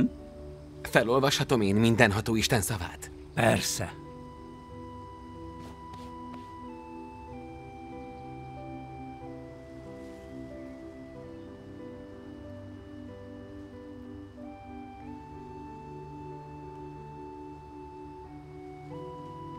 Mindenható Isten azt mondja, a legkorábbi időkben az emberiség Isten kezében volt. De a sátántól származó kísértés és rontás miatt a sátán gúzsba kötötte az embert, aki ezért a gonosz kezébe került. Ezért a sátán lett az a tárgy, amit le kell győzni Isten irányítási munkájában. Mivel a sátán birtokba vette az embert, és az ember a tőke, amivel Isten irányítást végez, az ember megmentésének érdekében vissza kell őt ragadni a sátán kezéből. Ami azt jelenti, hogy az embert vissza kell venni, miután a sátán fogva tartotta. A sátánt tehát az ember régi beállítottságának megváltoztatásával és eredeti józan eszének helyreállításával kell legyőzni. Így módon a fogságba esett ember visszaszerezhető a sátán kezéből. Ha az ember kiszabadul a sátán befolyása alól, akkor a sátán megszégyenül. Az ember pedig visszavétetik, és a sátán legyőzetik. És mivel az ember kiszabadult a sátán sötét befolyása alól, az ember lesz ennek az egész csatának a hadizsákmánya, a sátán pedig a megbüntetendő tárgy lesz, amint a csata véget ér. Ami után az emberiség üdvösségének teljes munkája befejeződik. Ámen. Milyen hatalma van?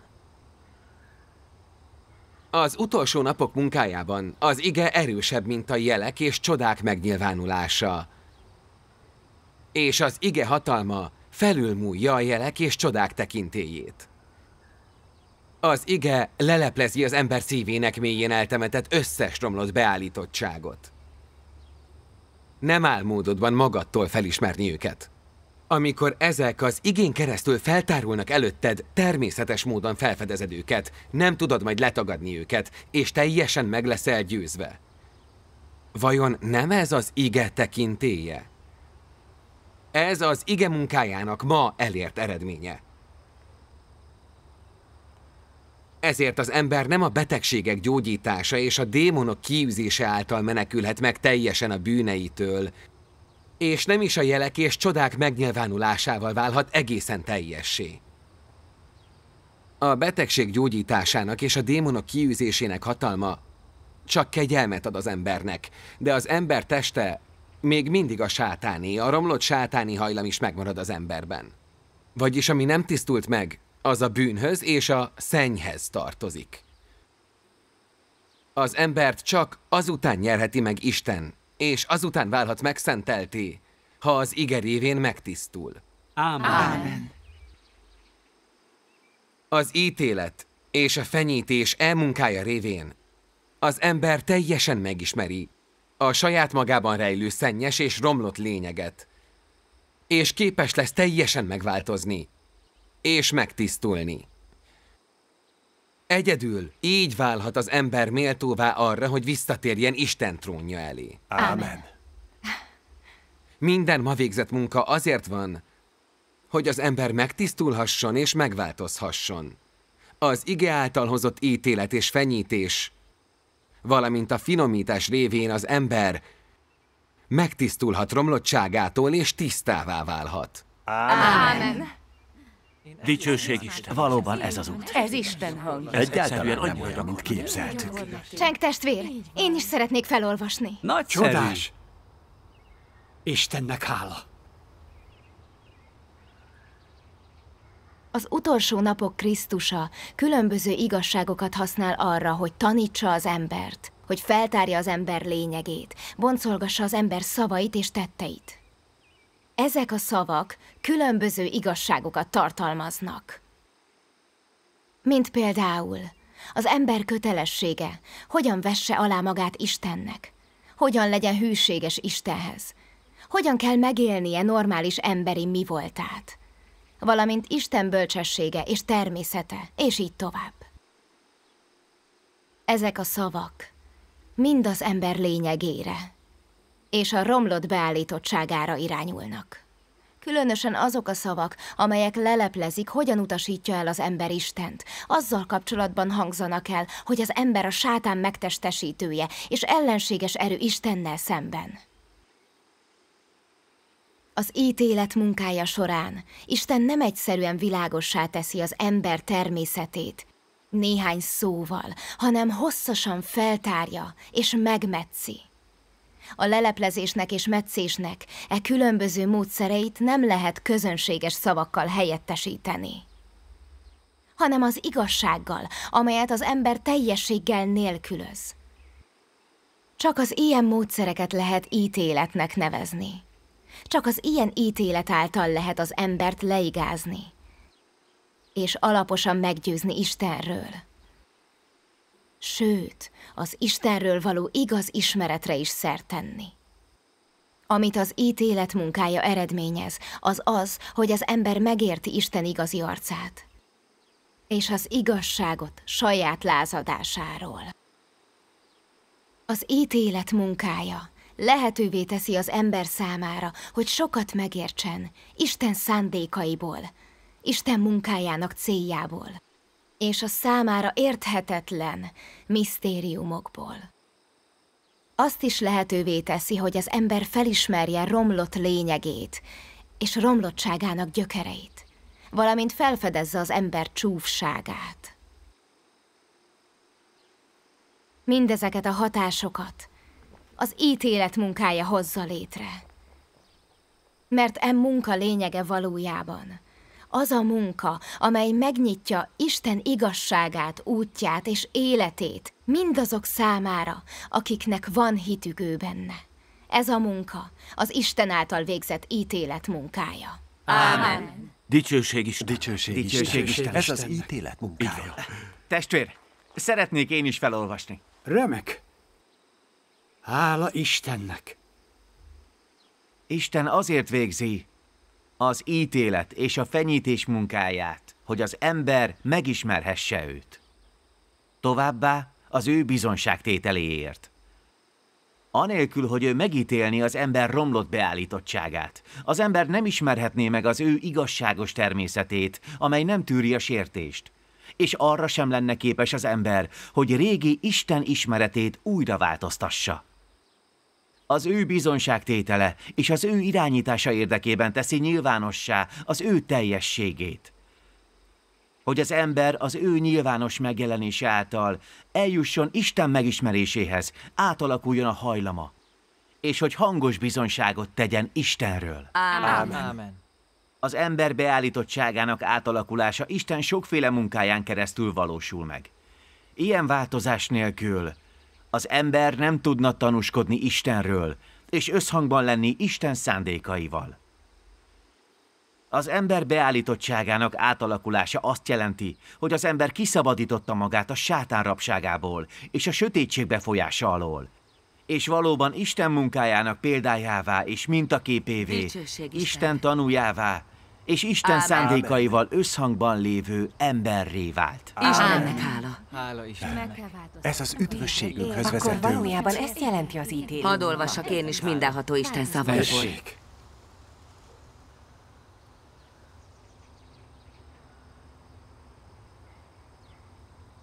Azok, akik Isten ítélő munkája során, vagyis a megtisztítás végső munkája során képesek szilárdan megállni, ők lesznek azok, akik bemennek a végső nyugalomba Istennel.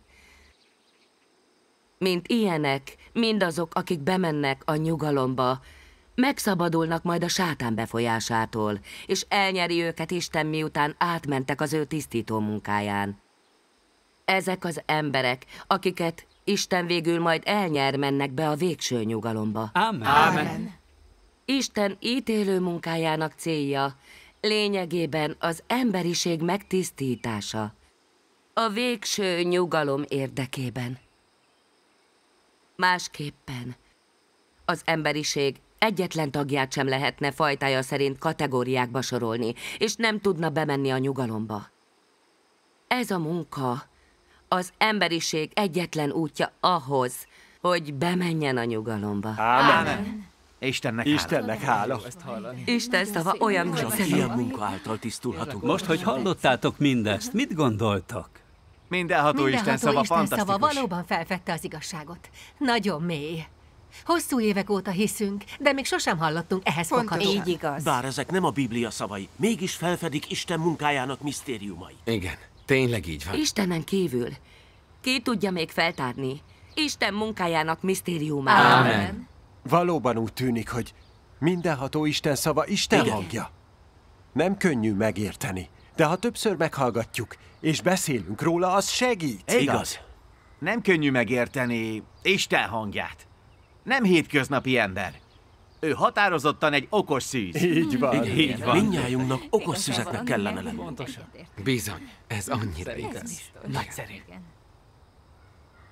Az utolsó napokban Isten testé lesz, hogy kifejezze az igazságot, és elvégezze ítélő munkáját, ahelyett, hogy egyetlen szóval átalakítaná az embert. Van ebben igazság és misztérium? Igen.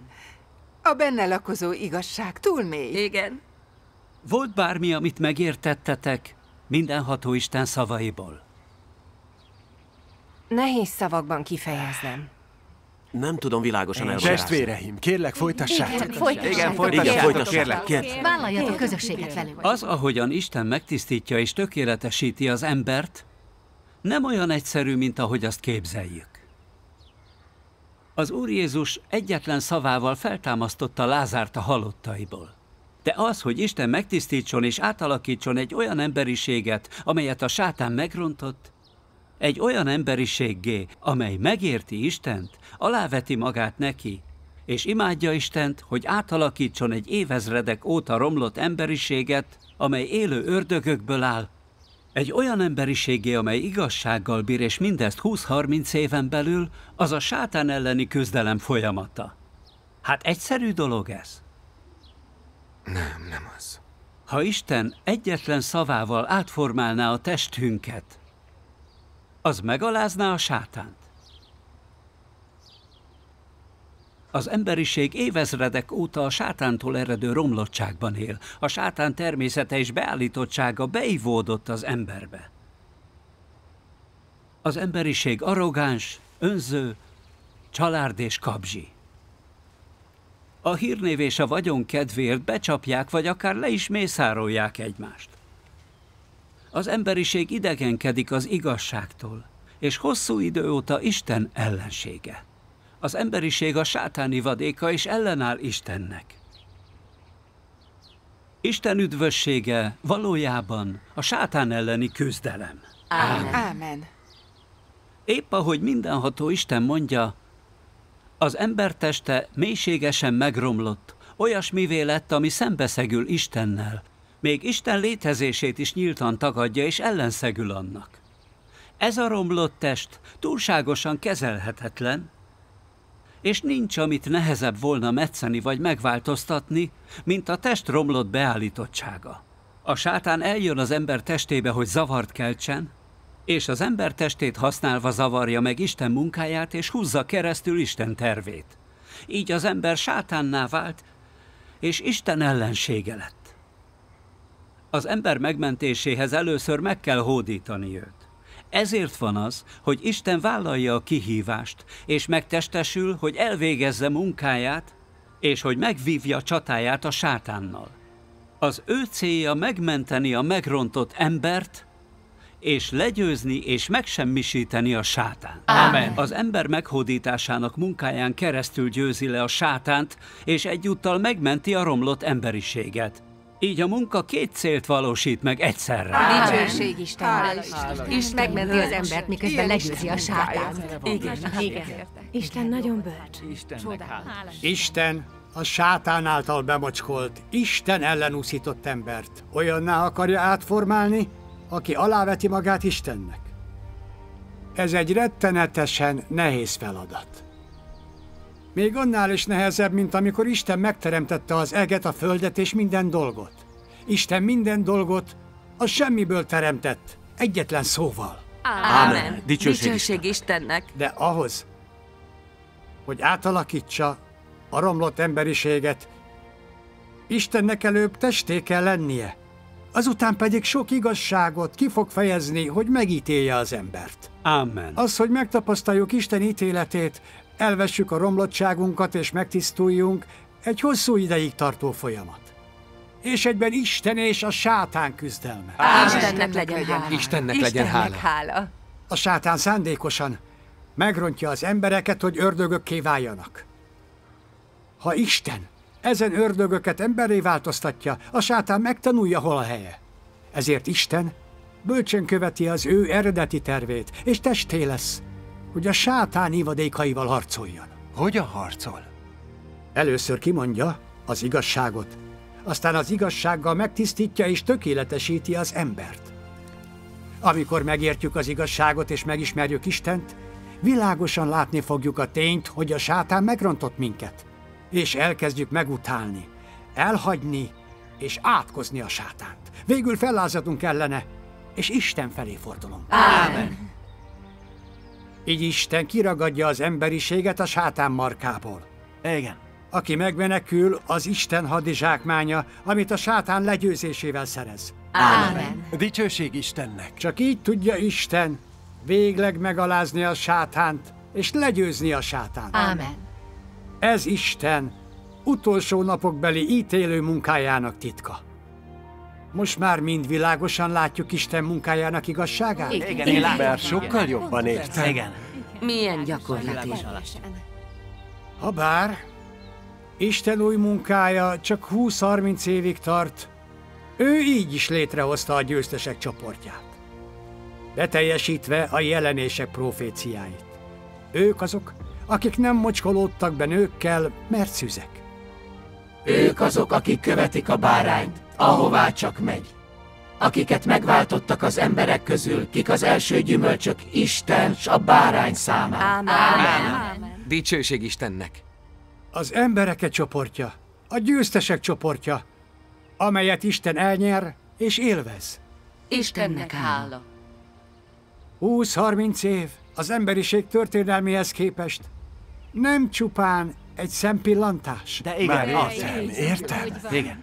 Pontosan. Csak ennyi. Az Úr előtt egy nap annyi, mint ezer esztendő, és ezer esztendő... Annyi, mint egy nap. Ámen. Ámen. Dicsőség Ámen. az Úrnak.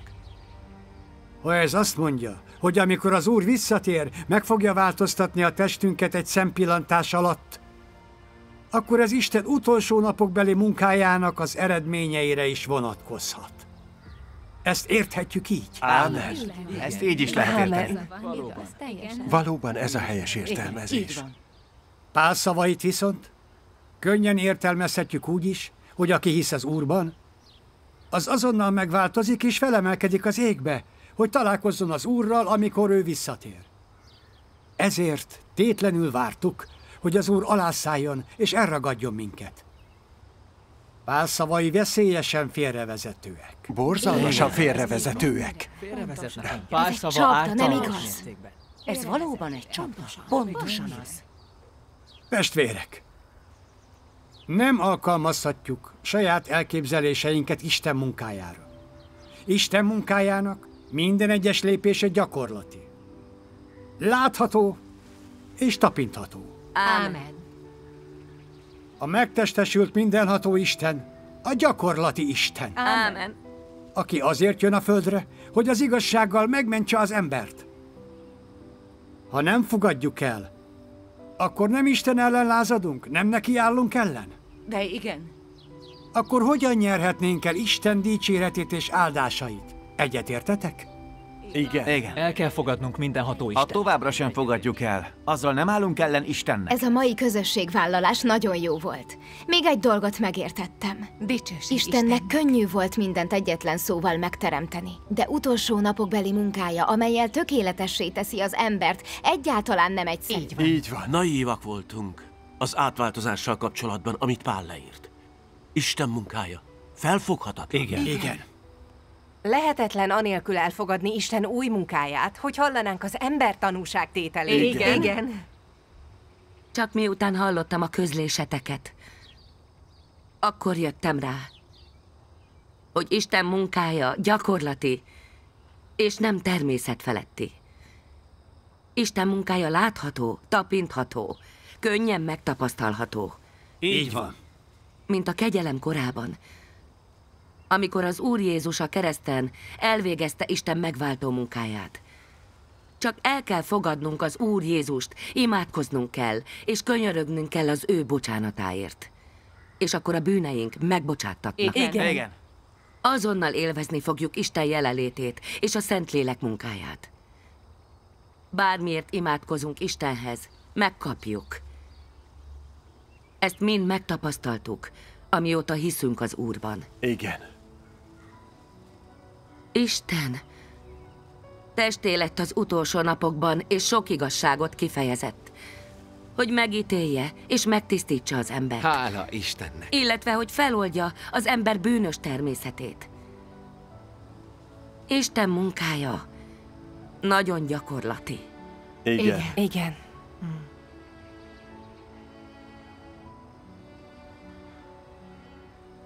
Kár, hogy ennyi éve hiszünk, de nem ismerjük Isten munkáját. És még mindig nem fogjuk fel teljesen az Úr megváltó munkáját. Azt gondoltuk, hogy az Úr Jézus már elvégezte az üdvösség munkáját az emberért. Csak vártuk, hogy eljöjjön az Úr, és elvigyen minket a mennyek országába. Olyan tudatlanok vagyunk. Igen. Miközben arról beszéltetek, hogy az Úr Jézus visszatért, hogy elvégezze ítélő munkáját. Még mindig a képzelgéseink alapján határoztuk meg munkáját. Arrogánsak és beképzeltek vagyunk. Nincs bennünk egy csepp értelem sem. Mi, akik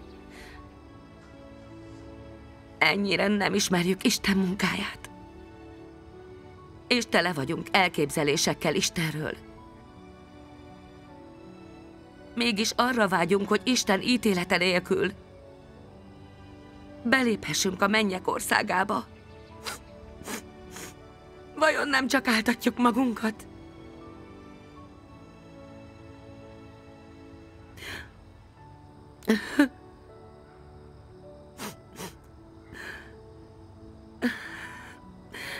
Cseng testvér, Csang testvér. Minden tanúságtételetek nagyszerű volt. Hála, Hála Istennek. Istennek. Ez Isten áldása minnyájunk számára. Ámen.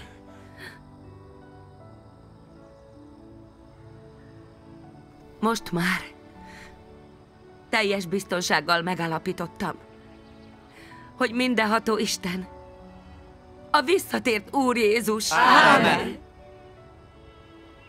Hivatalosan is elfogadom mindenható Isten munkáját. Ámen. Istennek legyen Istennek legyen. Én is elfogadom. Én is elfogadom.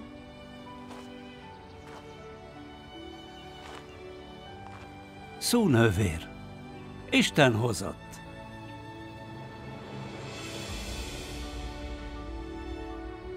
Isten hozott, a mindenható Isten egyházába. Hála Istennek. Hála Istennek.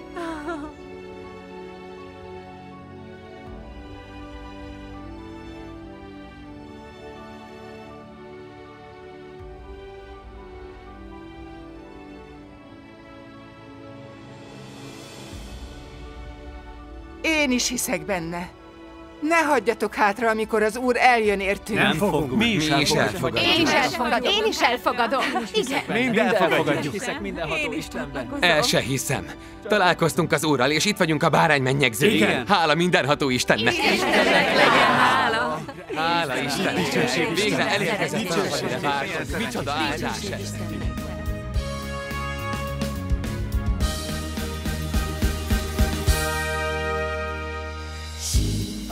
审判的工作，其实这就是为了，就是为了接近人类，为了最后的安息之日。否则，全人类就不能各从其类，不能进入安息之中。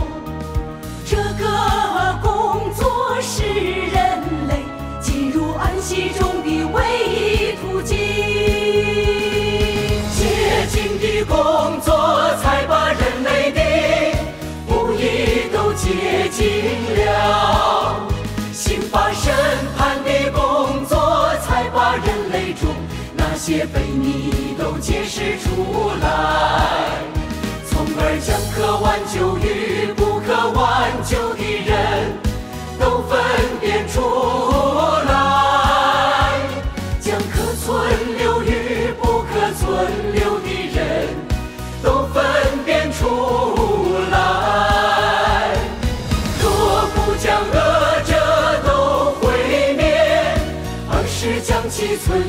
下来，那全人类仍然不能进入，不能进入安息之中。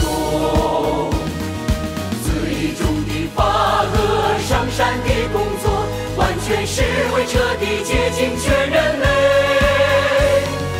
以便将完全圣洁的人类带入永远的安息之中。